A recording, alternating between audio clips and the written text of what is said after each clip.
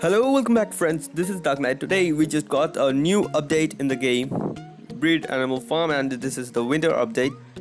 This is amazing guys, these effects are very cool. And guys, I heard uh, that many people are complaining that they are not getting any fabulous pet. And you can see that if I put this is the live experience I'm going to tell you and you can watch here that I am getting a fab pet. Okay. First you can start a breed in two chickens. You will see that it's taking seven minutes time.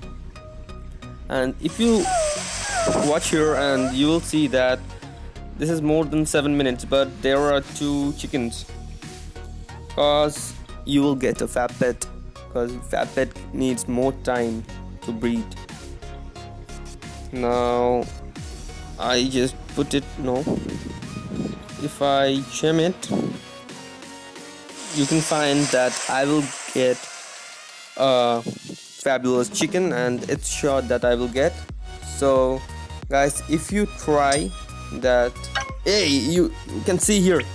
Here is my fabulous chicken. I told you guys I told you I will get it.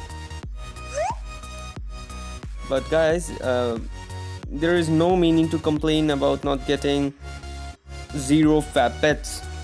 Because you should try. You should try a lot. Because I breed a lot pets every day.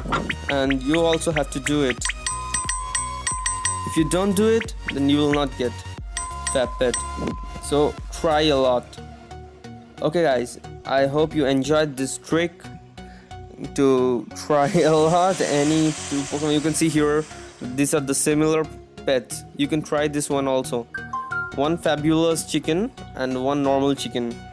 If you put them you might get a fabulous chicken. Okay guys see you in the next video. And don't forget to like this video and subscribe my channel for upcoming videos. Okay bye